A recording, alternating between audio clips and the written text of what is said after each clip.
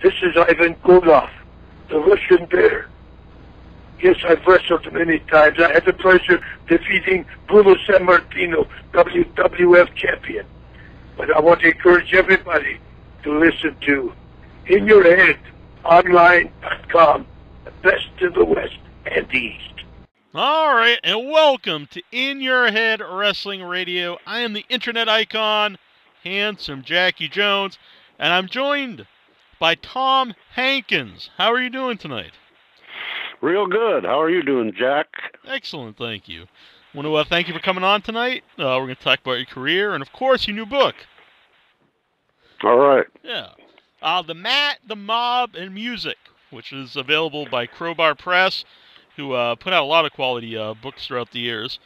And um, when did you when did you uh, start to write the book, or when were you interested in putting out a book? Uh, well, actually, I was just writing little bits on Facebook, and Scott Teal got a hold of me and said, "Why are you giving away your life story?" He said, "I'll publish it for you." Uh-huh. So I took, I had maybe three or four chapters up there. I took it off, took them off, and told him, "Okay, I'll finish the book." And I guess it probably took me about five years altogether. It took both of us after I wrote it and he edited it and cleaned it up a little, and uh, so it was about five years in the making. Mm-hmm. And uh, what what is uh, what's the response been like so far by uh, the people who have got a chance to read it? Uh, so far, everybody writing me telling me they love it, and uh, I'm really surprised. I've gotten so much response from it, mm-hmm. so what? I'm glad to hear that. Why I didn't know how much interest there'd be in in me. Mm-hmm. I was asked why do you think why is that why is that surprising to you? Well, I was never a big name in the business, and uh, although I worked main events a lot of places, but uh, under different names. So uh, I was just surprised that anybody might be interested in reading the whole story. Mm-hmm. So I decided to put together everything my music career, my wrestling career, and working with organized crime, sometimes all three at the same time. and uh, I was happy with what, what came out, what Scott did with it, and uh, mm-hmm. I'm pretty happy with it. Uh, when you said that about kind of all three at the same time, how how similar is the wrestling business to organized crime? Or is there a lot of organized crime that run wrestling business? I don't know. Well, no, they had not that I know of. They had nothing to do with it. In fact, the guy I personally worked for, he when I told him I had to go wrestle, he thought I was going. To, I told him I was going to St. Louis to wrestle Jack Brisco. And I, when I got back, he said, "Did you win?" I said, "Well, no, he's the world champion. I didn't win." He said, I wasn't supposed to. And he goes, oh, oh, he didn't understand how wrestling worked at all. And I explained it to him. And, uh, but he still didn't really get it, you know, catch it. Uh-huh. But he had a giant TV at his house, and I'd go over there and with a giant uh, antenna on his roof, and I could pick up Calgary wrestling. I could pick up East Coast wrestling. This is from Iowa, and uh, but he never really watched it. But he hired me because I was a wrestler, and I was uh, just finished up in Kentucky for Saul Weingeroff in '73, and I was going to go down to Mississippi for the Culkins. And I decided not to go to Mississippi. He offered me a job that paid me like ten times more money than what I was I was getting wrestling mm-hmm. to manage his warehouse. And pretty soon I became his uh, right hand man. Until we had a ugly parting of the ways, but Nope. I expected that. No, you don't want to give away everything in your book, but what what is uh, being the right hand man uh, right hand man of uh, of a mob guy? What does that entail? Oh, traveling with him everywhere. He'd pick fights, and I'd have to fight him. Me and another guy. He'd pick fights with people, but it was mostly just traveling around collecting money from. He had a bunch of adult bookstores. And from all the way from Indiana to Utah and we travel, collect money, and do business. Go visit these old mafia guys in the hospital. I guess I became a mafia goodwill ambassador. Didn't even know it. Uh, when you mean when you say collect money, was it like uh, just? Was out of like money? the movie arcades and oh, all the yeah. magazines and novelties and stuff they sold. Mm-hmm. Yeah, it wasn't like you were like Rocky before he get you know when he was breaking thumbs and everything. No. All right. This was just uh, actually everything came out of Cleveland, and we just distributed it in our chain of stores. Nope. We had seven seven stores. hmm You said you had a, a violent breakup, or uh, what happened there? Oh, I got mad at him. We got in a big screaming match, and I took all the keys to all these stores and warehouses. I had them all in the keyring and threw them at him, and somehow my aim was good, and I hit him right between the eyes. His name was Fat Eddie, and uh, his bodyguard was this big black guy named Butch, but he was also my best friend. And Eddie looked at Butch, and Butch just shook his head. No, he wasn't going to do anything. And Butch told me later he thought it was funny. I just got mad. I knew the FBI was watching him, and I knew it couldn't end good there, so I thought it was a good time to get out. hmm I saw uh, in the book uh, you actually mentioned uh, uh, looking through uh, photos uh, with the FBI. Now, uh, what was the story there? You did you uh, did, did you turn like state evidence or? Well, they wanted me to, but uh, I really didn't have anything to tell them. They sh- they were showing me pictures, and they were mostly pictures of me, and I just ignored them. There were pictures of me, like all over the country. They were following me. I had a feeling they were, and I had a feeling they were watching uh, the warehouse where we worked. We'd go out in the loading dock and sit there and roll joints. And I, there's a big empty factory building about a half block away. I said, you know, I bet the FBI is up there watching us. So I'd flip them the bird every now and then. And sure enough, they were up there. And I look at these pictures. There's a picture of me flipping them off. And I said, oh, yeah, I recognize this guy. And I handed him my picture, flipping them off. And uh, they were just trying to lock up Big Eddie. They finally got him for taxes. It's like a lot of like like a lot of the people. Uh, what Yeah. uh, before we get back to wrestling, uh, what would you say some of the what movies? Um, I don't know how involved you were, so maybe you can't really answer this. But what movies, in your opinion, uh, uh, capture uh, the mob lifestyle the best, like the most accurately? Well, you know, I watched the old movie Night and the City with uh, Stanislaus Zbyszko and uh, Mike Mazurki in it the other night. I really like that. I won't, the wrestler didn't throw me that much.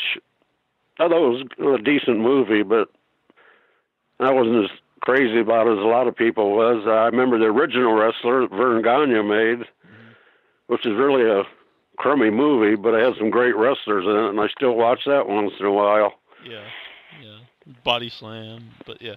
Now, what what drew you to, to what drew you to uh, become a wrestling fan? What was it about wrestling that uh, that really Well, caught you? I was 10 years old, 1958, and uh, we just got into TV. And I'd never even heard of professional wrestling. We were changing channels, and we changed, and there was Hans Schmidt wrestling Farmer Don Marlin from Chicago. And right away, I was hooked, right? It's like that. I said, stop. And I had to watch the whole show. And I became an immediate wrestling fan. My father felt compelled to tell me that, well, it's all fake. It's all fake. I said, well, you know, I don't care if it's fake. I said, I like it. Yeah. So I always never really believed it, but I always loved watching it and participating in it. So I started a fan club, pro wrestling fan club in '63, I think, with Norman Kietzer. He was vice president, and Burt Ray. I don't know if anybody remembers him, but he was a great writer and humorist in wrestling. And uh, just kind of went from there, and I became friends with the local promoter, Art Mitchell, in Cedar Rapids, and he introduced me to Gus Karras from Kansas City, which everybody should know who he is. And uh, I was what, 10, 11, 12 years old, I guess. And I told him I wanted to be a wrestler, and I'd go down to the box office every wrestling show they had and spend all day down there talking wrestling with them. And uh, finally, I got a band going, and we ended up doing pretty good in the Midwest. Had a couple of hits in the Midwest, and we moved out to Los Angeles. And I kind of quit following wrestling because I was so busy with the music out here. But then, uh, I don't know. I got went back to, to Cedar Rapids for a while, and uh, I saw there was going to be wrestling, so I went down to the wrestling show. It was one of Dick Murdoch's very first matches. I was sitting there alone in the ringside seat, sitting in the back, just watching. And uh, Dick came and sat down next to me and started talking to me out of the blue. So I talked to him. He got me interested again. So I started attending the matches. And then in uh, August 1969, about a year later, I was in Chicago, went to see the Grateful Dead.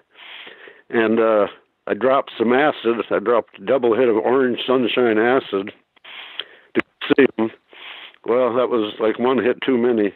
And I was hallucinating even the next day. But then I saw this wrestling at the International Amphitheater, the Chain Gang against Dick the Bruiser and the Crusher. Mm. I'd read about the Chain Gang. And I knew it was Don Fargo. I didn't know who his partner was at the time. I said, told my wife, I said, we're going to go see that. She goes, oh, no, because she wasn't a wrestling fan. But we went and got like fourth row seats somehow. And I was still tripping on acid, but when I saw the chain gang come down the aisle, which was Don Fargo and Kenny Mack, came down the aisle, surrounded by Hell's Angels in their colors. I don't know. I just uh, I decided I'm going to actually be a wrestler. Mm-hmm. I told that to my wife, and she laughed at me, and told my friends, and they laughed at me. I got back home, told the band, said I was quitting, them them to train to wrestle. And it turned out the guitar player was a wrestling fan too. Dan Daniels was a wrestling fan. He'd lived in Hawaii next door to Ed Francis for years. He knew the Francis kids. So he said, "Well, I want to, see, I, want to wrestle too." I said, "Well, you only weigh 120." But he had a brother-in-law who weighed about 320. He was going to be my partner. We were going to be a tag team, and we decided to go with the brother brother-in-law's middle name, Reid, R-E-I-D. So we went with that, and we trained in my backyard, basically, but it wasn't like backyard wrestling. That we trained in my backyard on mats for, well, you know, just three years. Uh, and then we go down to the uh, auditorium, Veterans Auditorium in Cedar Rapids when they had matches there, and we'd get in the ring and be set up in the afternoon. And we'd work out,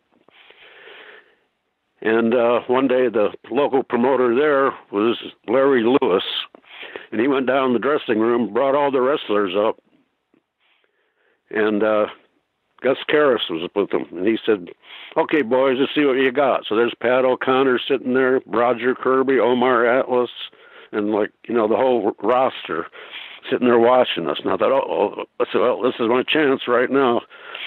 So Dan and I got in and worked on a match we'd been working on for a couple of years. And Gus stopped us after about five minutes and said, "Okay, that's enough." And I thought, "Uh oh," said we screwed it up. Something went wrong. Uh-huh. He said, "No, you guys are ready." He said, "Call Nick Gulas, tell him you've been rest- working for me. Tell him to call me, and I'll back up your story, whatever you tell him."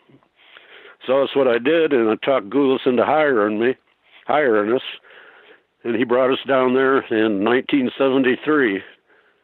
In Johnson City, Tennessee, was our first match against Dandy Jack Donovan and uh, Tom Shaft.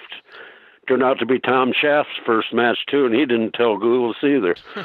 so there's Jack Donovan in the ring with three guys that never worked before. and he, but he talked talks us through the match. Uh-huh. But as soon as I got back to Nashville, Gulas called me in his office and said, What the hell was that last night? He said, You guys were great. I said, what? He said, You guys were great. I said, Well, thank you. He said, The greatest stinkers I ever saw. I said, You didn't even tie up right. And he was, I think he was really mad because we got all the heat. We took everybody's heat. We didn't know enough. We were in the opening match. We took everybody's heat. We got so much heat from the crowd and uh, pissed everybody off, pissed the rest of the wrestlers off. Uh-huh. and he was right in the midst of firing us when Donovan walked in, in his office in the Sam Davis Hotel and talked him out of it, talked him into keeping us. And we were around a few more weeks, and uh, or actually a couple more months. And uh, I was on TV. We were on TV in Memphis wrestling Jackie Fargo and uh, Jerry Jarrett. Mm-hmm. And uh, was supposed to be split falls. They took the first fall. We were going to take the second fall, and uh, Fargo around to pin me, and I went to push him off, but he grabbed my trunks and held on without telling me he was changing the finish and pinned me. So we lost two straight falls, which was I didn't care, but he didn't tell me. And I said, "Oh, fuck you, Fargo." And I didn't realize the camera was right on my face, and the whole it was live TV. And as soon as I got back to Nashville, Gulas called me in his office and said, "What the hell was you doing down there? Yeah, tell me if I ever put wrestling on, you on there again, they'll cancel wrestling. You know how long I've been on that station?" I said, "Uh, no, Nick. How long?" He said, I started laughing. He said, "You think I'm funny?" I said, "I think you're hilarious, Nick." He said, "Well, you're fired." I said, "Good." Because I already talked to Saul Weingeroff about going to work for him. He was running competition. So Gulas fired us and Saul hired us, and a few weeks later we went to work for him. We were working. Suddenly we were working on top. We had the Von Brauner brothers train us, train us, but actually get in the ring and train us every day, and they could tell we were getting better every day. Mm-hmm. So that's uh, really how I started, and uh, I moved to California in '76 permanently and I came out here. The booker was uh, Leo Garibaldi, and he wouldn't even give me a shot, which I could never understand why he wouldn't. He could have put me in the ring to see what I could do, because by then I'd wrestled Jack Brisco and Danny Hodge and a lot of other people in St. Louis. So, uh, but I never had any luck with Ernest with uh, Garibaldi. But then Tom Renesto came in as booker and the territory was going downhill fast, real fast. And I thought, well, if I can't talk him into using me now, I might as well give up. So I went and talked to Renesto, and five minutes I talked him in. We talked him into meeting with us in his office. So Dan and I went down to his office. we told him all the heat we could get. He said, "Oh, show me." So we cut a, started cutting a promo for him. After about 30 seconds, he stops and says, "Okay, I'll use your Sunday San Bernardino." So then we went to work for him, and on uh, work four days a week, and he'd pay you seventy five bucks a week every week, and he's paying everybody that. We were feuding with Chris Adams and Ringo Rigby at the time, and Carlos Manta and uh, Mando Guerrero, and they were getting seventy five bucks a week too. Everybody was. I go up and work for Anton Leon up in Bakersfield on Saturdays. He'd give me a 150 for one night. So I was making double in one night what LeBell paid me all week. And finally, LeBell just, I worked the last show at the sports arena here in Los Angeles. Me and Mando Guerrero, they told us to go to a 30 minute Broadway. And after about 10 minutes, I told Mando, I said, why don't you just pin me so we can get out of here? There's hardly anybody there. And he said, okay. So I let him pin me, and that was it. Renesto never said a word about it. Uh, I think everybody was kind of doing their own finishes at that point. And a few months later, LeBell was, well, he thought he was in partnership with McMahon, but McMahon cut him out after, I think, two shows here. Mm-hmm. But mm-hmm. in 1981, I was up in Bakersfield. I met Dr. Jerry Graham. Uh, John Tolos was there, and he asked, I was there with Kurt Brown, and he called, John called Kurt over and said, give, give Jerry Graham a ride home? And so I was driving, and so Kurt come and asked me, he said, Jerry wants to ride home. I'd never met him. I said, okay. I mean, I'd heard wild stories about him. I figured they couldn't be true. Well, after meeting him and hanging out with him for till he died, there's, all those stories were true and probably worse. But he was a real maniac. Every time I was with him, there's some something happened. I mean, he'd cause trouble somewhere and get thrown out, thrown out of places but it was all actually pretty funny. Jerry, he just uh, he was a real smart guy, but once he got once he got drunk and hit him, he'd go into his world famous rant, and it's rant so obscene that I don't even want to repeat it, but. it's uh, the same rant he always used when he get, he'd start in on it, and uh, it, it was funny. Sometimes he just sit there in the car and yell out the window, just yell at anybody and everybody. Uh-huh. And he'd take his empty liquor bottles and throw them out my car window. I say, "Stop doing that!"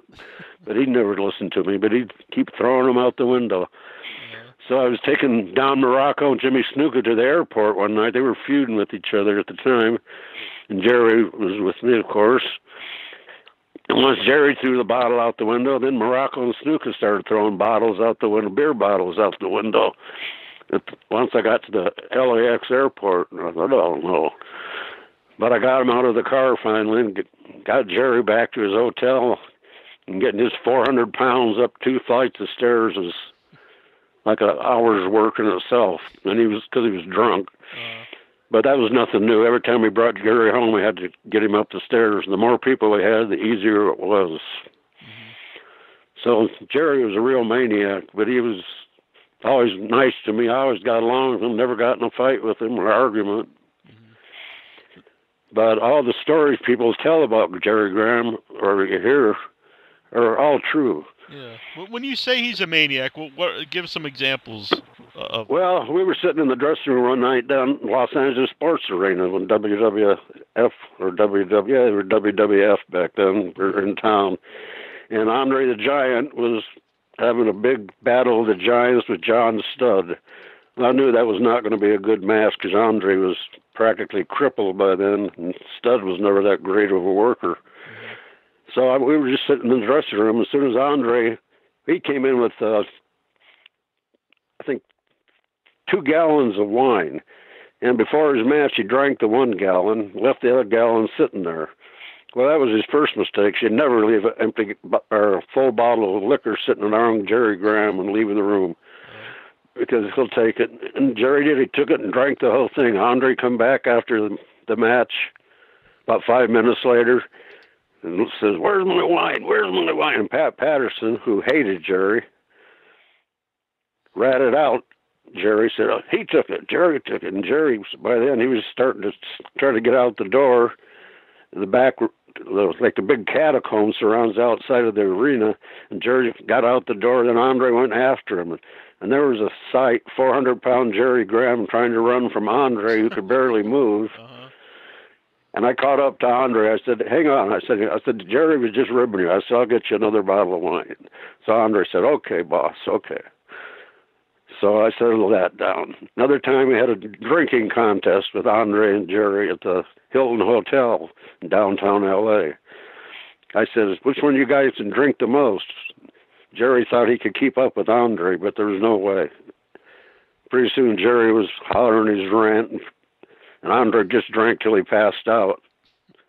And the bartender told us, well, you got to move him out of here. I said, how are we going to move 500 pound man out of here? So I guess he just left him there overnight. and the next time, they every time we went back to the bar, we were at the bar after WWF was in town. And uh, Jerry walked in to the bartender, said, Where's Andre? He says, Who? He says, Andre, call his room. He said, Andre who? He says, Well, the giant. Andre the giant. He saw all seriousness on his face. He expected the guy the guy didn't even know about wrestling really. He was a bartender there. And uh I thought that was pretty funny. And Jerry would do things like he'd say, "Stop here." We'd pull in and walk into a biker bar, and he'd get in a he'd intensely pick fights with people and throw them at me. and uh, that was actually I was doing steroids at the time, so I was in a mean mood most of the time anyway. So I didn't care. I actually enjoyed it. And he told me other stories of stuff he's done that, like he was in uh, when he was working for the Sheik. He was driving to the matches. He was already in his trunks and boots, and his car had a flat tire, and he didn't know what to do. So he gets out of the car, opens up his hood, blazed himself from ear to ear, standing there in the middle of the street in his wrestling attire, bleeding. Somebody stopped to help him. He jumps in the car, says, "Quick, get me to the TV studio." And I don't know, I don't know what the driver thought, but uh, Jerry got got to the TV studio, and that was the first story I had really heard about him. Bill Miller told me that in St. Louis, Doctor Bill Miller, and uh, I asked Jerry, is that true? He goes, well, yeah, that was true. I said, what about the time you went skin diving, skin diving drunk and almost drowned? He goes, oh, yeah, that was true. I was down with Eddie in Florida. So everything I'd heard about him, he was lighting cigars with $100 bills. He did that. he took no, Vince McMahon, you know, Jr. was his favorite. Jerry was Yeah. his favorite wrestler when he was a kid, Mhm. And then oh, McMahon Senior didn't like it, but Jerry would take him around. He even bleached his hair, Junior's hair blonde at one point, platinum blonde, so he could look like Jerry. So Jerry always had these great ideas and stuff. I wonder if some of them rubbed off on uh, On Vince. Junior, Yeah. but what he's done to it now, I don't know. I can only watch about half of it. Wh- Why did uh, Pat Patterson hate uh, Jerry Graham so much? I don't know, but uh exactly. Jerry hated any foreigner and even Canadians. He especially hated Canadians. I never knew why, but something must have happened up in Canada. And he was one of the first guys to help train Patterson. But something happened between them, and they he hated it. Every time we come there to go in the dressing room or whatever, he hated it. But Red Bastien was running the shows, and he he liked us, and he let us in. He liked Jerry. And uh, I guess I should tell this story now about Pat. We were at the hotel bar one night. I was sitting next to Andre, and Pat was on the other side of me. I'd gone out drinking with him a lot of times. I knew he was gay. I didn't care. I mean, it didn't matter to me. And I talked to him about. I said, "Well, I said, you see, we're coming in." To, Vince flew uh, Jerry to New York to be on Tuesday Night Titans, and he pushed our coming in. The Graham Wolfpack was coming in. I said, "You see?" I said, "You see, we're coming in." He said, "What?" And he said, "I said we're coming in." He said, "You see Tuesday Night Titans?" I said, "Jerry was on there." And Patterson said, "God damn it!" And he says, "Oh, I said, I don't really care about anything." He says, "Why don't you come up to my room?" He says, "I want to give you a blow job." I said, "What?" He said, "I want to give you a blow job." I said, "Well," I said, "No, not for me." Well, he said, does that make me a bad guy? He said. I said, "No, but it makes you a cocksucker." and that was the end of the WWF relationship. Uh, no, uh, so, so he offered to uh, to to uh, pleasure you with the with the blowjob, not reverse. But uh, now, um, when you went on the the Donahue show and, and talked about that, like, uh, how did Uh-huh. how did uh, Phil Donahue show contact you? How did they know about? Was it did you contact them or did the show contact you? Well, I wrote a letter to Dave Meltzer when Barry Orton came out and accused Patterson and Terry Garvin of. And Terry Garvin tried the same thing with me in Tennessee in '73, but I, I wrote a letter to Dave for the Wrestling Observer, and he printed it, telling him exactly what happened. And then uh, I guess Donnie he sent it to Donahue or something, and Donahue called me. At first, I thought it was a rib. I, I hung up on him and he called back and it was actually Phil Donahue himself called back and I realized, oh, that is him. So that's how I got on the show. He flew me to New York, put me on the show, and uh, I didn't really say get out what I wanted to because I wanted to cut a promo on Vince and yell at him and slam my hand on the table, and Bruno Sammartino and Meltzer and Superstar Graham said, no, no, don't do that. It'll make our side look bad. But the way the show came out, I think our side looked bad anyway. Half the people still believe McMahon. And I regret to this day that I didn't do that. No, well, uh, when you said you're gonna cut a promo on, him, you mean uh, like a wrestling promo? Well, just gonna some- say stuff like Yeah, I was going to call him a needle nosed weasel and just, just basically, yeah, cut a wrestling promo Yeah. on him. And that would have that everyone would have remembered that. I mean, that would be uh, that'd be infamous. Every today, people would still be talking about it if that would have happened. Yeah, exactly. And uh yeah, I should have cut loose on him, but I didn't. Now, I did you, didn't say much that whole show. Although about eight months later, Geraldo Rivera called me, flew me back to New York to tell the story. He let me go say whatever I wanted to. So I talked for about ten minutes. And but Geraldo stopped me once and said, "No, remember, this is just his opinion. We're not saying we're not saying this is true." uh, He was afraid he'd get sued. right, I think Vince did threaten to sue him. That, did you ever have any interaction with Vince besides uh, the Donahue show? Uh, no. although before the show it was pretty funny. We were all sitting in the green room. I was sitting there with Superstar and, and every, we're all sitting there, and Phil Donahue walks in with Vince with him. Nobody said a word to Vince. You could just feel the tension as soon as he walked in the room. Uh-huh. Vince said, "Hello, boys." Nobody said a word to him, and so Vince left, left the room, and, and then everybody started arguing. Who's going to sit next to Vince? So I'm not sitting next. to I'm not sitting next to him. And, I, and Superstar said, "If I sit next to him, I'm going to hit him." I said, "I'll sit next to him." So I offered to sit next to him on the panel there and he and I started kind of edging each other, trying to push each other off the chairs with our elbows. I don't know if that really showed off on TV or not, but uh. Vince and I had about a five minute elbow tussle there, just shoving each other back and forth as we're sitting there. And but that show really didn't amount to much because mm-hmm. uh, Donahue didn't do his research on it he thought Vince was making billions a year then, and he wasn't. Mm-hmm. so. Job's here in the chat room. I don't know. Uh, Job's here uh, in our chat room wants to know: Was uh, were you informed of the findings of Vince's "quote unquote" internal investigation of the sexual abuse allegations? Uh, yes, I was, and uh, all I can say, I told him the truth, and I know Barry Orton told him the truth and so did Bruno. Superstar Graham, I think he got carried away. Yeah. But uh yeah, I just I just told him the truth. Mm-hmm. Did, now was that an isolated incident with uh with Pat Patterson or uh has anything like that ever happened to you before in wrestling? It with WWF or with, you know, any other wrestling company? Well, down in Tennessee for Nick Gulas, my our my second day in there, Sam Bass. I don't know if anybody remembers him. He was a manager and wrestler down there. He said, "Watch out for Terry Garvin; he'll hit on you." And sure enough, he did. But I, I just told him no.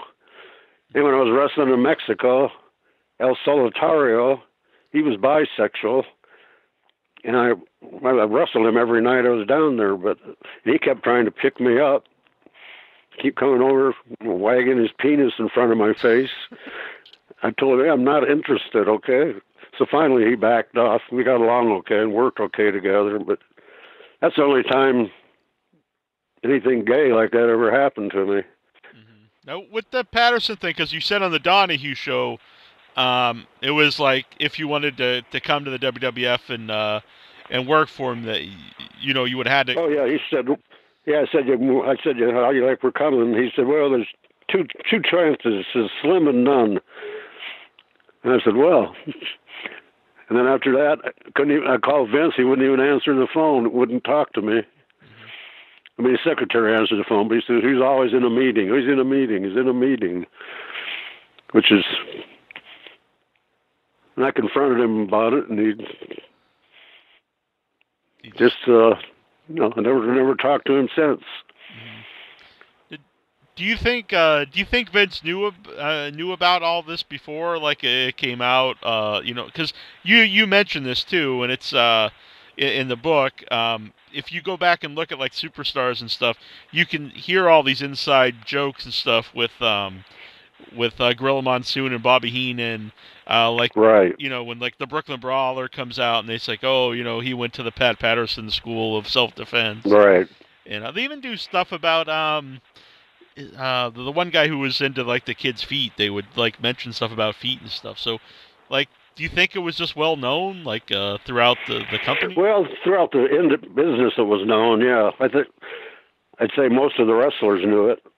I well, they all knew it. I would say they had to. I mean, it was no secret. Patterson, when he came out, you know, last year or whatever, it was you know like 40 years too late because everybody already knew it. He never hid it really.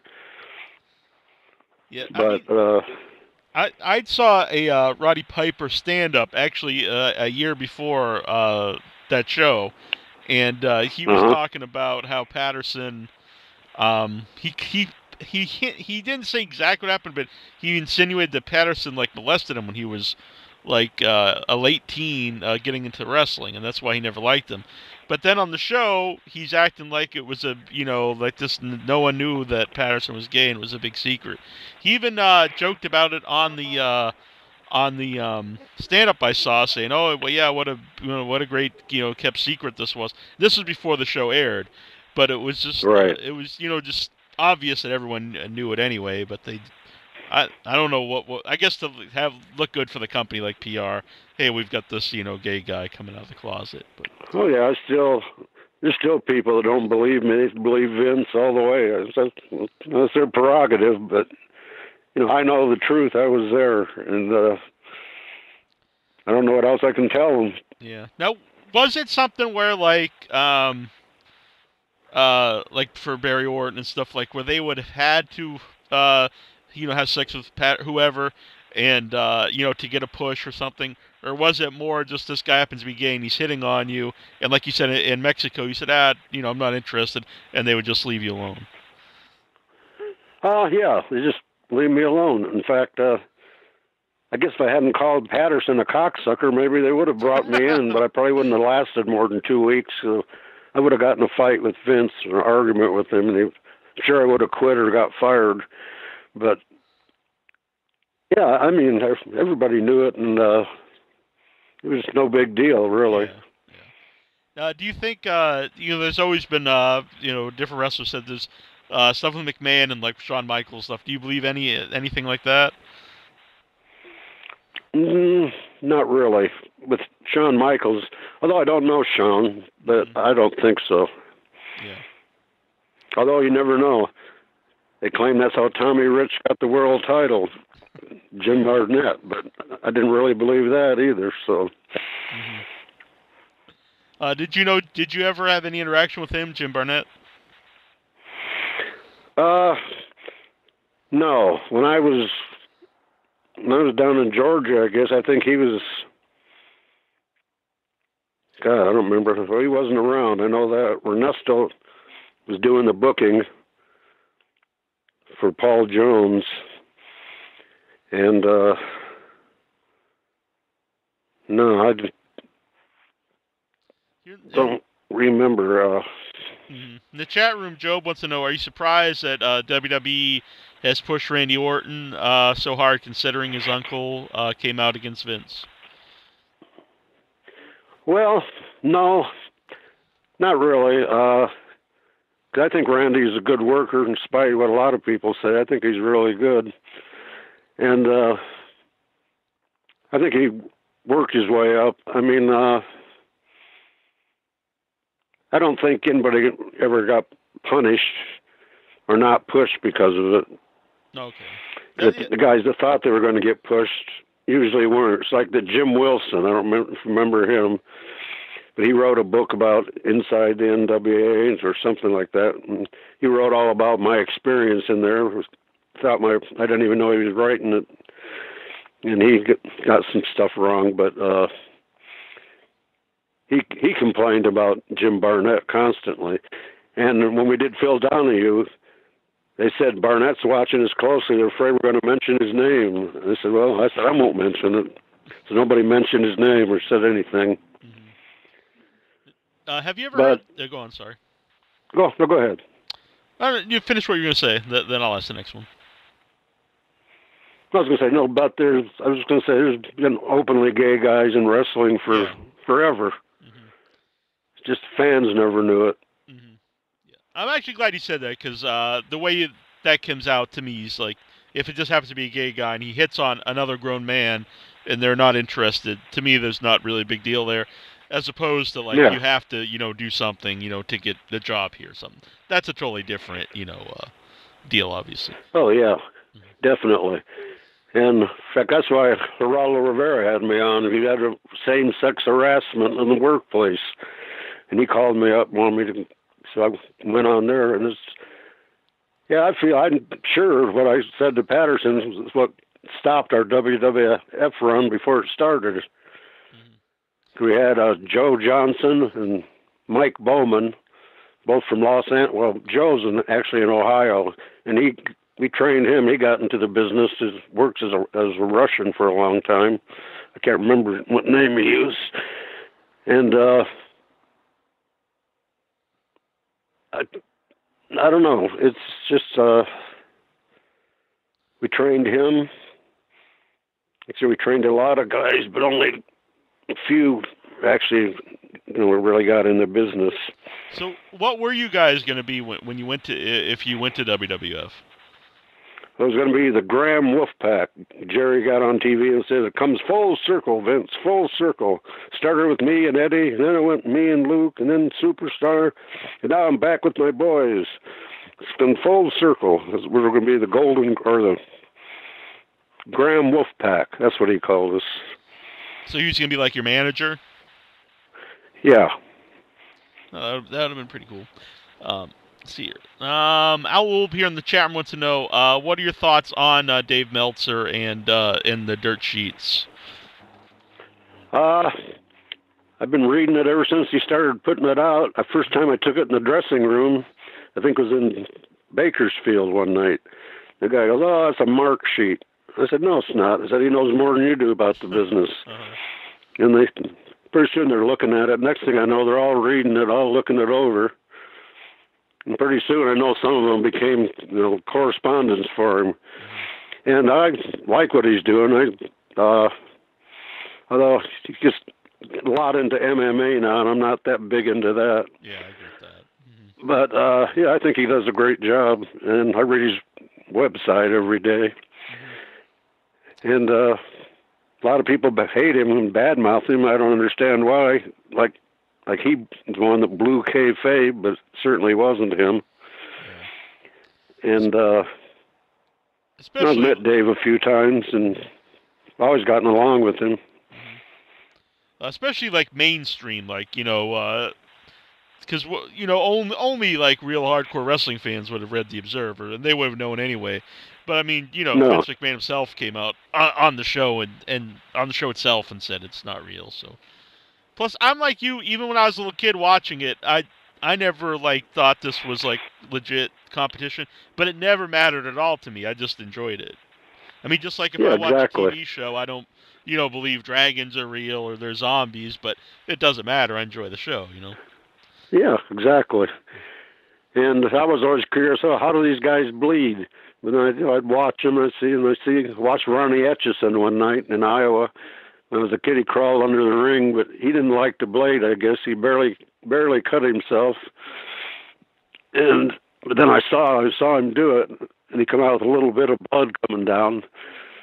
And uh, and I realized well, he said he did something to his head. And then I realized I found out about you know blades and how he did it with the blades. And uh, to me, that didn't seem out of the ordinary. I mean, it's professional wrestling; anything goes. Yeah. It made it that much more intriguing to me. Now, when you talked earlier about like training in the backyard with your friend, so you didn't have like a wrestler at all, like uh, to, you know, train you guys. You were like, kind of like you would watch the wrestling on TV and like try to uh, learn how to do the moves without you know like hurting each other. Was that like how your training went? Yeah, and we talked to Harley Race a lot. He never actually got in the ring with us because he lived in Kansas City, and he was when he came up to Iowa, he was only there, you know, one or two days. But we got to talk to him, and Gus Karras introduced me to introduced us to him, and uh, Harley. After he kept telling us, "Oh, it's impossible to get in the business. You guys' hair's too long, we had the hair down to our shoulders." And he says, uh, "But we kept may- more or less stalking him or bugging him constantly. And uh, so one night he took us out to dinner after. That was before the matches. He's one of the few guys that could sit down and eat a huge meal before a match and still go out there and work for 60 minutes. It was unbelievable to me. And he sat down there and late, told us, told me his, told us his plans, how he's going to work St. Louis and Japan, and how he's going to get the world title. And this is in 1970, I think he told us this. And uh, his plan worked all right. and he helped us. He showed us how to shake hands and told us you got to learn how to lose before you win. And this all made sense to me. So he was like open about it, and uh, do you think he saw something in you guys, or he just, you know, was that just? I Well, Gus Karras, Mhm. when Harley was there, when we were Gus, Gus Karras, he says, "You got you boys remind me of the Funk Brothers." He didn't mean by wrestling; it was just our knowledge of the business because we'd studied it for years. We knew at the time we knew where everybody was wrestling, where what cities, what territories, and we knew the history of the business. And Gus Karras told us taught us a lot more about it. And Bobby Bruns is another guy, former world champion. He was uh he didn't get in the ring with us and he was getting too old by that point, but he you know gave us a few pointers and helped us out. But the uh, here in the chat room too, uh, I want to know uh, your thoughts on Murray Hodgson uh, recanting his allegations, and do you feel that it has tarnished your own accusation against, uh, accusations against Patterson? Uh, no, because my my accusations were true, and uh, actually Murray's might have been, although I don't think too highly of him. I mean, he was definitely gay. He was there with his gay lawyer for the show. Mm-hmm and uh, I never, I don't know, I didn't, I never liked him for some reason, but I, he thought he was going to be more than he was, and I think he was just bitter about it and using that as an excuse. Mm. And he was gay, and Patterson knew it, and I guess he wasn't interested, and that was that. Mm-hmm. Have you ever heard the Kamala song, uh, "Push It and Pull It"? Yeah. Uh, do you do you have any thoughts on that? Oh, I think it's great. I love it too. It's I played on the song a lot because uh, I think it's pretty hilarious. Mm-hmm. Yeah, it is. I used to watch these uh, podcasts, Kamala oh, and Kamala Jr. Yeah. or on YouTube. Uh-huh. Uh, yeah, and I, I liked them. Yeah, it's uh, it's too bad, you know. Uh, over the last couple of years, he's had a lot of health problems through uh, yeah diabetes. Because uh, we've had him on the show a few times. He's always a super nice guy. Have you ever? Oh yeah, I met him in Atlanta. He was real nice. I got a concussion down there. Johnny Walker drop kicked me so hard he gave me a concussion, and I couldn't see, and I had to carry me back to the dressing room. And uh, Abdul was first one there to see if I was okay. And he says, "Sounds like you got a concussion. So just relax." Mm-hmm. And he was right. I did have a concussion, mm-hmm. and that put me out for almost a year. Oh wow! And that nowadays you probably wouldn't be. Uh, you, they, you probably you might not ever come back. You know, with like uh, with the concussion. Probably not. Some of these guys, I see the injuries, so-called injuries they get that I don't know. uh, now, when you talked about uh, the blades earlier, so um, when they showed you that, like, uh, now who showed you how to blade? And the first time you blade, did you blade yourself, or did someone else blade you? No, I always bladed myself. I never had any qualms about it. Uh, I guess it was when I was in uh, Tennessee working for Gulas. Mm-hmm. And it told us they wanted four way blood in a tag match, four way juice. And the referee had the blade and but hand it to us when he wanted us when they wanted us to juice. So mm-hmm. that was the first time I did it. I think it was Bowling Green, Kentucky, and uh, didn't bother me.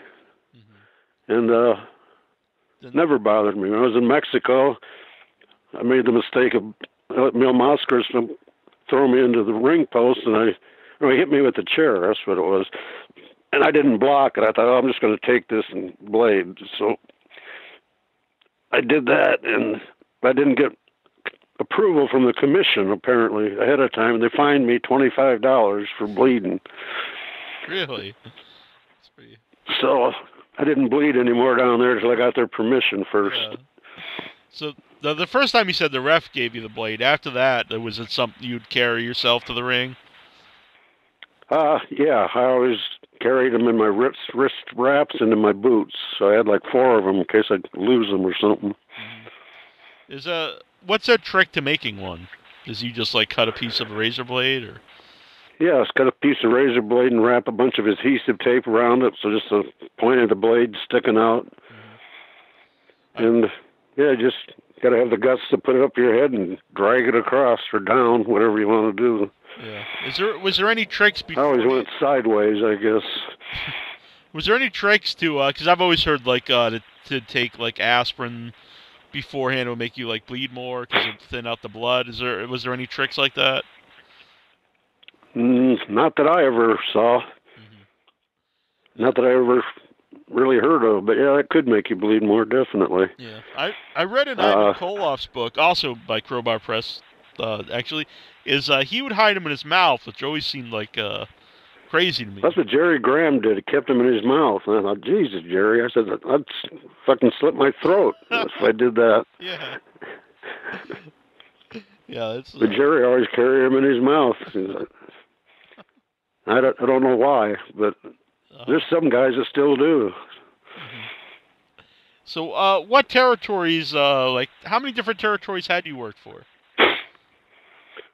Well, I worked Tennessee, Kentucky, Georgia, Central States.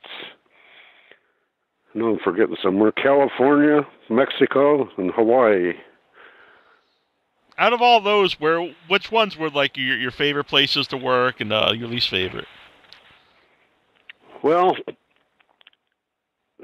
actually, Hawaii was uh, my favorite place to be, and I liked working there too. But the promoter, the booker, was Lars Anderson, and I don't know if you know about Lars, but he's a real dick, and I'll tell him so to his face if he wants me to. Uh, And uh, so it was always like a screaming match between me and him over the payoffs every night. But I always came out and got what I wanted from him, so I liked wrestling over there. And the fans just hated me over there. I was under a mask, Mr. Z. And they, I'd walk around, you know, Honolulu with a mask on in the daytime just to get attention. And people would yell stuff at me. And I thought, oh, great, getting, building up business. There's a, I, you know, I, I, you know, I know of Lars, but he's a little before my time, and uh, I met Ole Anderson uh, a bunch of times. I know they're not really related, but uh, they both Right. have similar uh, uh, stories about them. What, what is it about Lars that, that made him a dick? Oh, he wouldn't. He s- wouldn't pay people. Like my friend Moondog Moretti went to New Zealand for him and worked, and uh, he took off and left Moretti there with no ticket and no money. That's just one of the things. He's, plus, he's a big bully and tries to be in the dressing room. But he was a booker and he's a bully. The only person I ever heard that could out yell him besides me, and I could out yell him and out argue him, was Leah Maivia, the promoter there, Peter Maivia's wife. But she, she was. They were taking me to the airport one day, and they got into an argument, screaming at each other. And Leah had to pull over to the side of the road to concentrate on arguing, and he's screaming at Lars. And I never heard anything like it. It was- But I enjoyed listening to it. But I was late for my flight, Yeah. stuck in Hawaii another day. Uh, that you, was okay. did you, uh, did you And meet? uh, Go go ahead. I would say, did you ever meet a, a young Rock at the time? Yes, I did. Uh, they had a big show, and oh, I think it was August.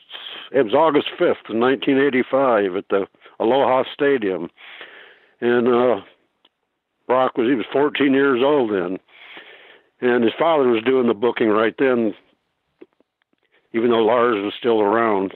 But Rocky was doing the booking, and yeah, I talked to him a little bit, and uh, he's a nice kid. And I was surprised to see how huge his star has become. Yeah.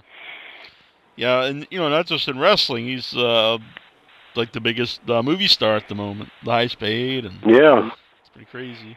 And uh, I guess Cena's going to try to uh, follow in the footsteps because they came out that he came out that he's going to be part time now, and he's going to try to, uh, uh, you know, go into acting in Hollywood.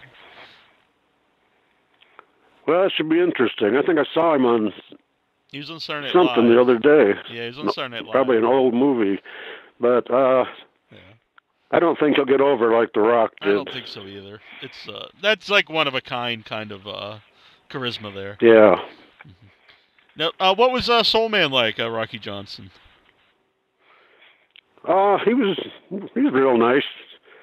Actually, only got to meet him uh, a couple times in Hawaii. He just came in for the big show and he booked it. He booked Bruiser Brody and a lot of the Japanese guys. I think there were 54 wrestlers on that card, and it lasted like almost six hours. Wow. and I think there were thirteen thousand fans there. And uh but Rocky, uh oh, he was always nice. And his brother, this is it was his legitimate brother. It was his tag team partner then too. Mhm. Rocky and Ricky Johnson. Um, you mentioned earlier about uh, you were on steroids at, one point in time. Uh, what are your thoughts on steroids? And because we've actually had you know people on that they think uh, they they're good for wrestling. You know, if you use in moderation. What are your thoughts on steroids? As someone who's actually using. I I think it's up to everybody what they want to do, but I could see what it was doing to my body. It was. I mean, I gained 20 pounds of muscle. But I was lifting heavy weights every day, and I did gain 20 pounds when I started. I was taking Dianabol, which turns out and I took pills. I didn't inject it because I thought that was safer. Turns out taking the pills was the worst way to take that stuff. And uh, after a few weeks, I broke out and my urine turned cloudy, and I thought this got to be from those steroids. So I quit taking them and became a food supplement junkie. So I was taking like 22 different food supplements after each meal, and I kept my weight up to like 230. What, what were you before? Like uh, you got into wrestling? Were you a smaller uh, guy or? Uh, I weighed about probably 200, 185, 200 mm-hmm. before I really started. When I first got into it, I actually I weighed when I was working down south for Nick Gulas. Couldn't afford to eat most of the time. I got down to 185 at one point. Did, but I tried to stay at 200 or above. Yeah. Did the steroids affect your personality at all? Oh yeah, they made me mean. Or like when Jerry Graham would take me places you get in fights, I would actually enjoy it. Mm-hmm. And uh I like I in the ring I could tell the difference too. I was just uh more aggressive which I should have been anyway, but I was working for California Championship Wrestling by then and they were in the pits and I was ready to quit. And uh but I didn't.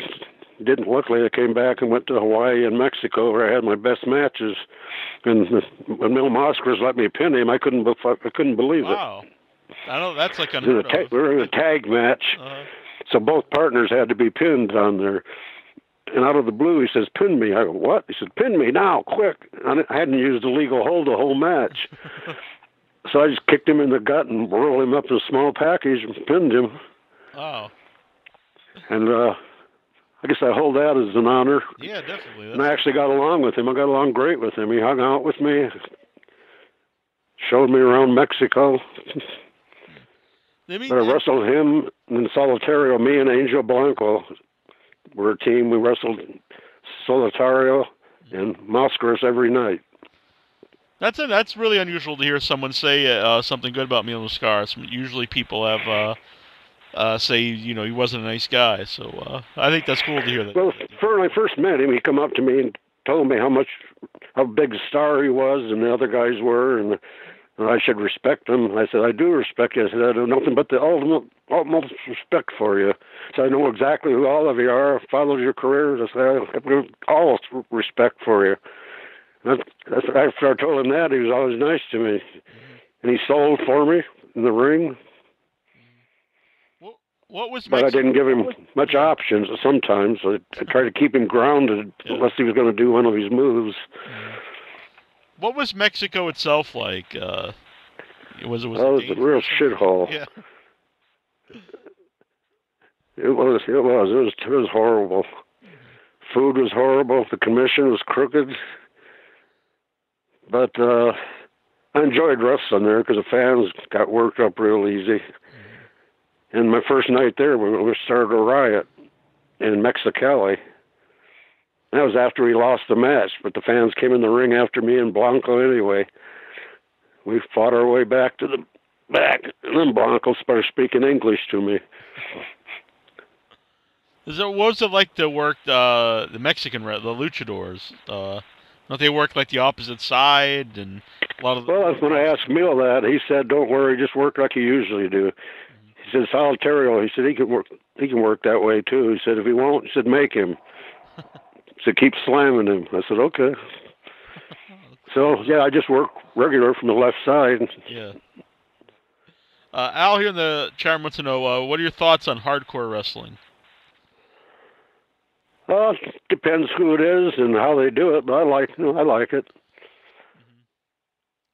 Mm-hmm. I uh used to go to Pro Wrestling Guerrilla down here, which isn't really hardcore, mm-hmm.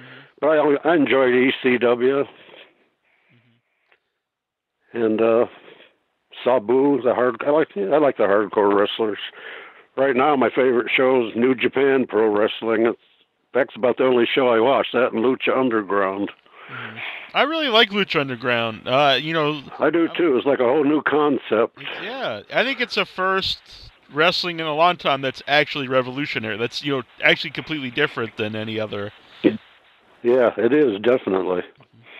And, and uh, yeah, Robert Rodriguez, the director, and we put it together. He's he's my favorite director to begin with. I love his movies, and this he tapes it just right. He's got that mat looking looks like it's dirty, and it looks the whole place looking like it's filthy, and that's what he wants. And it looks it's great. Yeah, it's a great show. Yeah, yeah, I agree. I agree, hundred percent. It's like uh, I don't uh, get some of the people who, uh, you're like uh, Jim Cornette really uh, went off on it. Uh, like, oh yeah, and wanted everyone to like die and stuff. And I was like, I, I don't. Uh, I mean, everyone knows. Like we said, especially now, no one there's unless maybe like a couple kids or someone like in a hillbilly or something believes like wrestling is legit. So I don't see you know why even pretend at this point. You know what I mean? But within well, yeah, the show and itself, I look at Lucha Underground as like part science fiction, part drama, comedy, and wrestling. Because like they, who I forget who was dead, and they brought him back from the dead. Is it Mil Muertes? I think. Yeah. Yeah, and it's fun to see like uh, like the Honky Tonk Man. You have like a cameo on it, and he's not the. Oh yeah, I saw that. Yeah. You know, it's it's the fun. police department. Yeah. Yeah, it's just you know, it's it's fun too. It's just a fun show.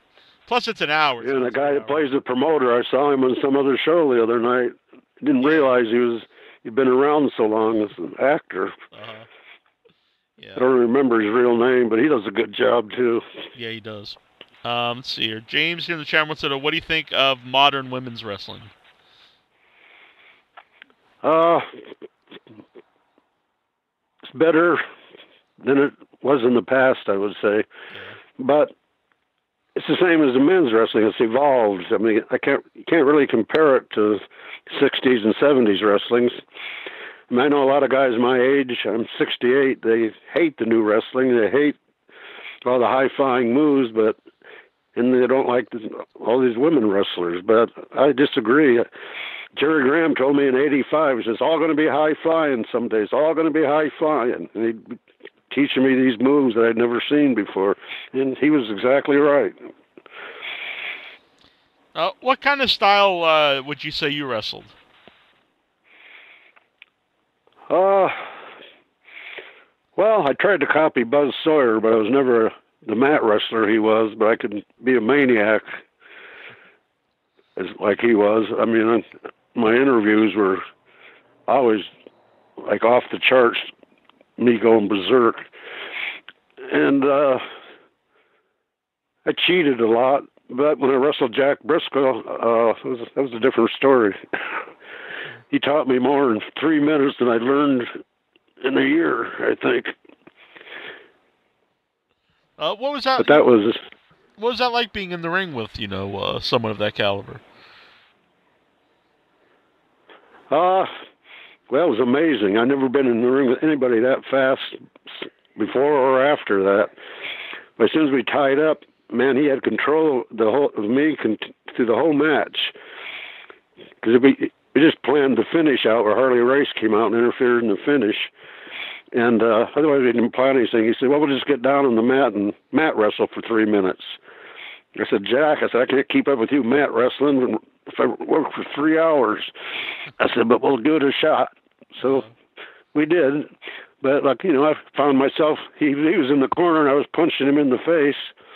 But he actually had my hand. Looked like he was trying to hold it back, and he was doing all the work. I was just standing there. So he was, I think, the best wrestler. Him and Danny Hodge mm-hmm. that I ever wrestled. Mm-hmm. Uh, they always talk about Danny Hodge's uh, uh, tendon strength in his hands.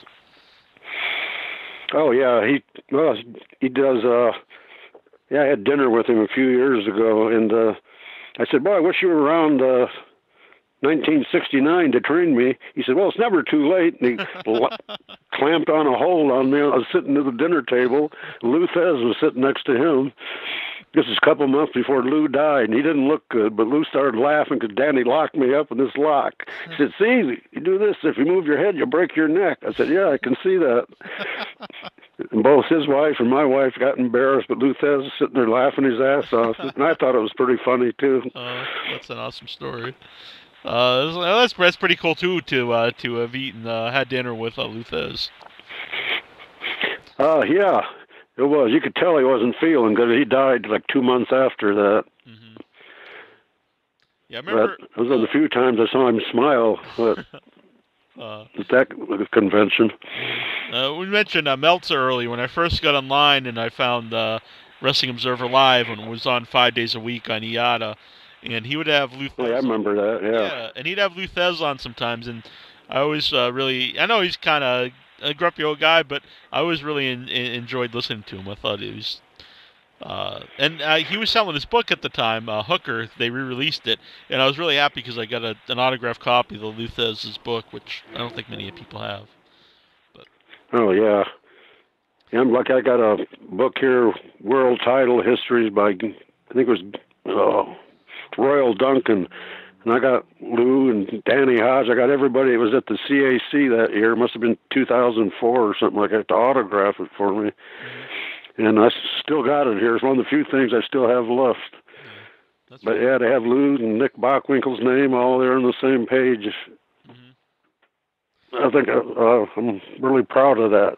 Yeah, that's awesome. Um, I remember when he when uh, Lou was on the eYada show. I remember a caller called in once and asked him what he thought of Shawn Michaels, and he just went, "Is he a wrestler, or is he one of them there tumblers?" And I just thought it was it was just made me laugh that he even consider him like even a wrestler. But uh, it was. It was great. Uh, let's see here in the chat room. Yeah, I'm sure Lou would hate Lucha Underground, but yeah, probably wouldn't be a fan. Uh, Ted wants to know if uh, Mil Mascaras wore his mask 24 7 when you were around him. Uh, who did? Uh, Mil Mascaras, if he wore the mask uh, all the time. No. No. Uh, just when he went out to the ring. And when he'd leave the building and come in the building, he'd wear it. But he, when I first met him, he wasn't wearing it. And then he'd take it off, you know, after the matches or after he'd get away from the building then we could go places together. Mm-hmm.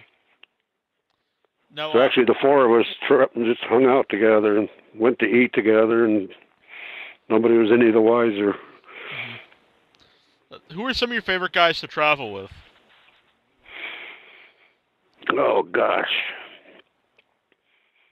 I think uh, you know Pepe Lopez. If anybody remembers him, down in Tennessee, he was he was fun. But Sam Bass, actually, I guess Sam and Pepe died in a car wreck. Maybe, maybe that's why they were so much fun to ride with. They were wild. I'm glad I wasn't with them at that point, but riding with them. But actually, Jerry Graham was the best. He had the best stories. He told me stories that are unbelievable, but I believe it. He told me a story about him and Wahoo McDaniel driving down back street in New York City going real fast. They were both drunk, and some bum stepped out in front of them, and Wahoo hit the guy with his car and killed him. Oh God! And they got out and looked. Wahoo said, "Fuck, we killed the guy." Jerry said, "Ah, nobody will miss him. Let's go." And they took off.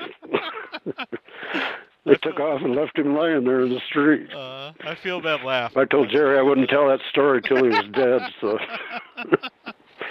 I love it. Uh, see, uh, uh, Dominic here in the chat room wants to know what's the worst backstage incident uh, incident you've ever seen. Worst what? Uh, backstage incident. Oh, well, I watched uh, Mitsu Katayanka and he had a partner. Mitsu was actually a Mexican guy. I can't remember his name, but we had a battle royal that night, and he. Oh no, it wasn't a battle royal. It was a riot. It was in Cleveland, Tennessee. There were about maybe 70 fans there. About half of them decided they were going to get in the ring and fight with Lorenzo Parente and Bobby Hart. So all the wrestlers emptied out of the dressing room, were fighting with the fans and Mitsu Katayanka kicked Tom Shaft in the teeth, knocked a few of his teeth out. And I guess it was an accident, but they got back in the dressing room. Shaft, who was huge compared to Mitsu, just beat the shit out of both these Japanese guys. I just stayed back, stayed out of it. No way I was going to try to break it up. Mm-hmm. And uh, that's the only real fight I've seen. Mm-hmm. Bad fight like that. And it was a little dressing room. There were only four of us in there. Were you were you still uh, an active wrestler when uh, when like the territory started to get bought out and uh, they started to dry up? Uh, yeah, because uh, I was talking to the Sheik about coming in to Detroit in '83, but then I thought, no, the payoffs are going to be terrible there because I knew he was going downhill fast. Everybody was, and I called around the country, talked to Stu Hart, talked to different promoters. Bob Brown wanted me to come to Kansas City. He said you can work St. Louis TV, and almost talked me into it, but they weren't paying very good down there either. I could see the whole business was starting to go down the toilet, least from a WWF standpoint. I still liked WCW mm-hmm. up until a point.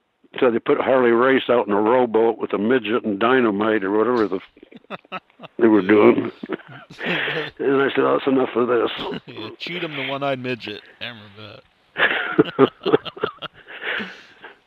So, uh, you know, during that period, though, uh, what what did like all the other wrestlers and promoters that, that you knew?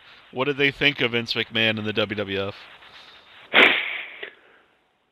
Uh, well, the ones I know from my era mostly hate him, but uh, some of them like him, I guess. They must, because some of them are still around, you know, working for him in various capacities. But uh, you go to like a CAC convention, I'd say eighty percent of the wrestlers there hate him. Mm-hmm. Uh, what are your thoughts on him? Uh, I hate what he's done to the business in terms of when he first when he made Hogan champion. To me, the whole quality of the business dropped into the gutter. Because Hogan was not a, not a wrestler. I mean, he drew people and made a lot of money, but he couldn't wrestle for shit. And uh, I I could see that was as I call it the cartoon era. You get Brutus Beefcake and some of those other gimmicks he had, and I, I didn't like him. Although I watched it at the time, but I didn't like it, and uh, I finally just got away from watching WWE. Although, like, well, actually, SmackDown just now came on here. Well, I, I hadn't planned on watching it. Mm-hmm. Two o'clock this morning, New Japan Pro Wrestling's on. I'll be up watching that though. Mm-hmm. Uh, who are some of the guys you liked in uh, you like in New Japan? Well, AJ Styles was tremendous, and now he's in WWE. He was just tremendous over there. And Tanahashi is another one, and uh, Geet. God, there's some. Uh, they got so many good guys. I can't even name them all. And the matches they show on TV are all main event quality, and they're all probably all about six months old. Mm-hmm. So I like the they got the Bullet Club over there, and they got uh, who's this one guy comes to the ring real slow, and he's dressed up, and he's I can't remember his name.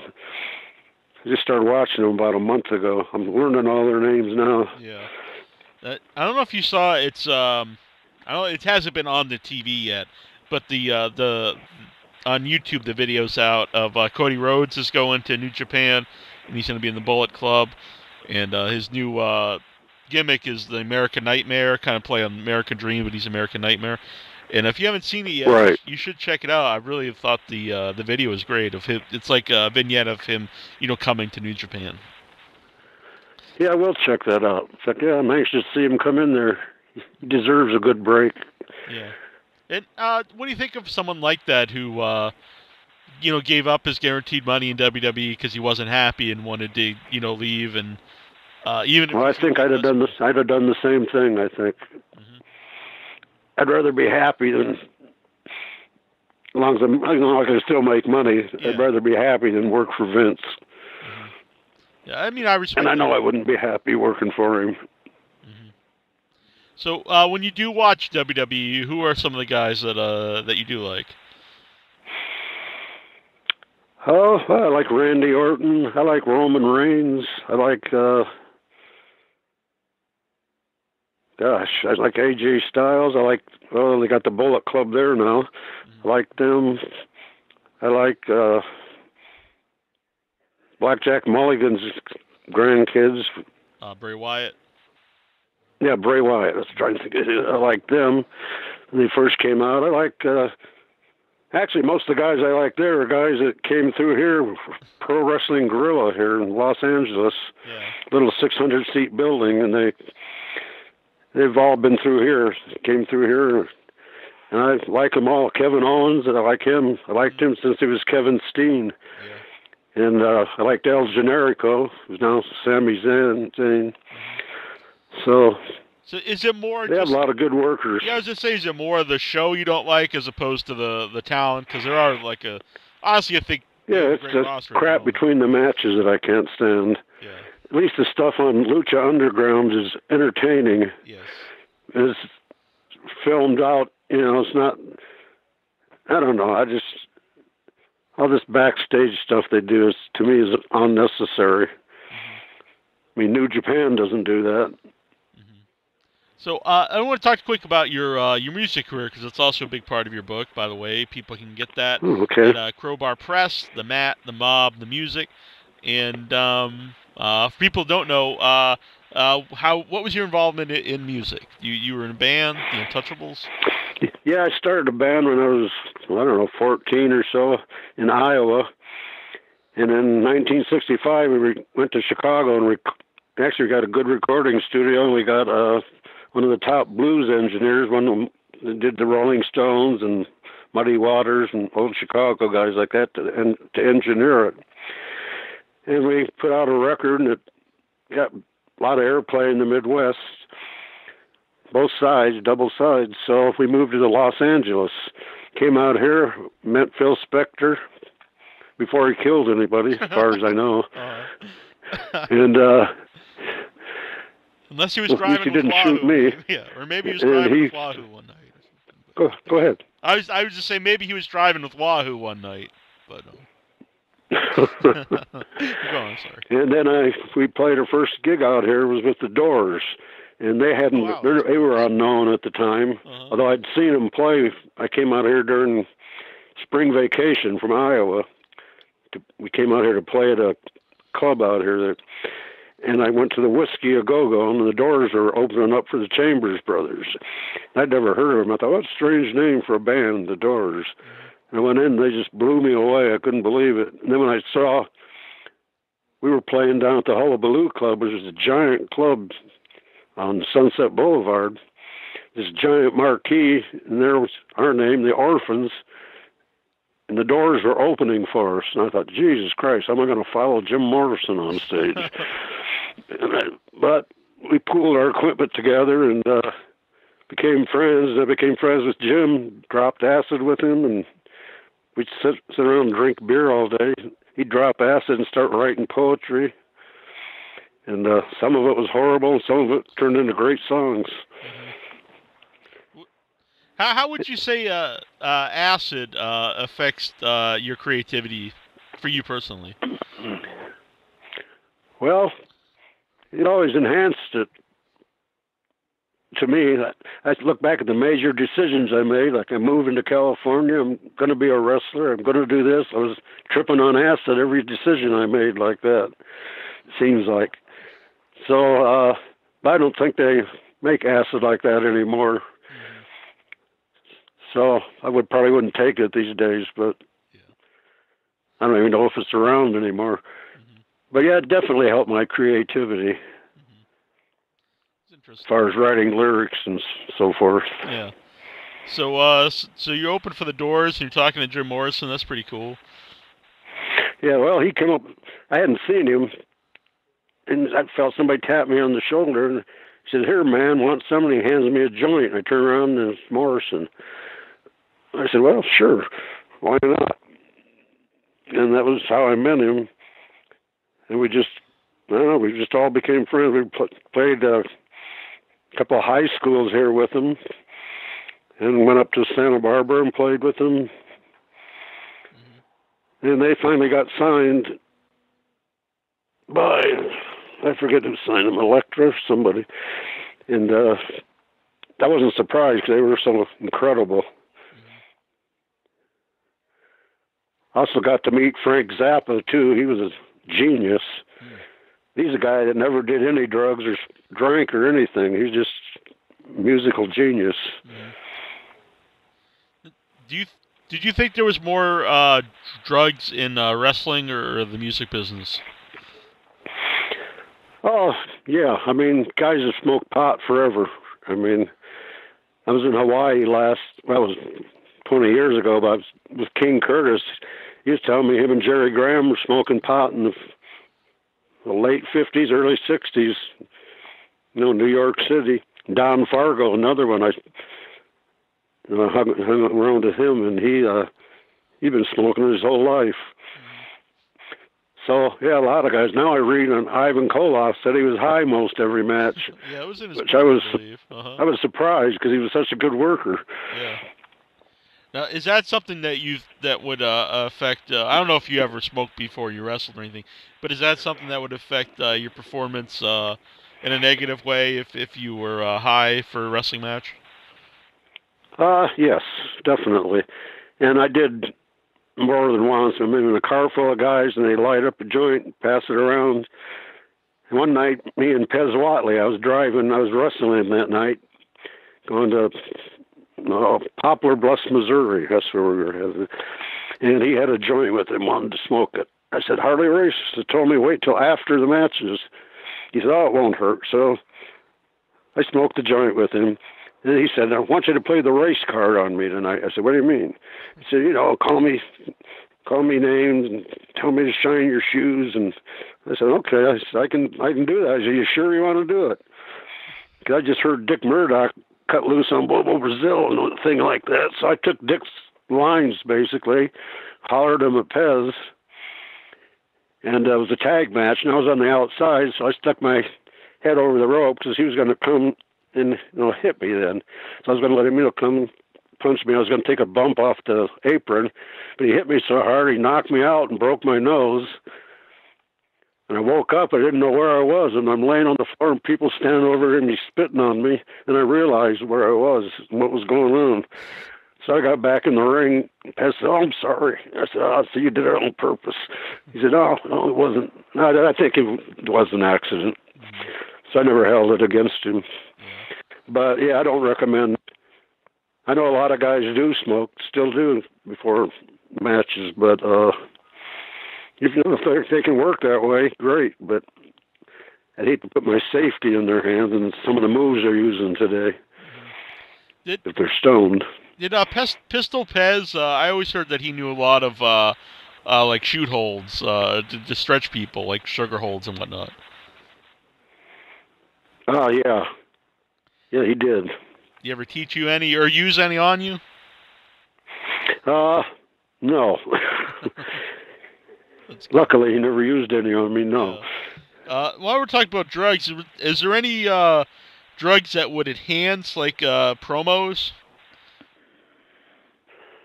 Well, steroids would actually. Pot could enhance promos too. I mean, I've been practicing doing promos since I was 10 years old. I'd stand out in my backyard screaming like the crusher. Neighbors look out the window, think I went nuts. I did that every day for years, and uh, I think the first good promo we did we had when we went to work for Saul Weingeroff, uh, I was definitely stoned when I got there. We both were, and uh, but we cut a hell of a promo, and uh, they kept showing it on TV. I was in a liquor store with a couple of girls, and I came on TV. I said, "Look, look!" And I made the clerk stand there and watch it with me. I said, "See that?" and uh, I was stoned then, so yeah, the promos didn't didn't affect it at all. Probably enhanced it. Mm-hmm. Uh, did you ever do any uh, any coke? Because it does seem like in the '80s, a lot of uh, a lot of the, the great promos were guys that were uh, uh, maybe coked up a little bit. Well, Lars Anderson tried to pay pay me and Tully Blanchard off in coke, and I wouldn't take it because I knew he, he said, "Here, have the line." I knew he was going to deduct it from my pay. I said, "No." Uh, And uh, I mean, I've done it, but it was never.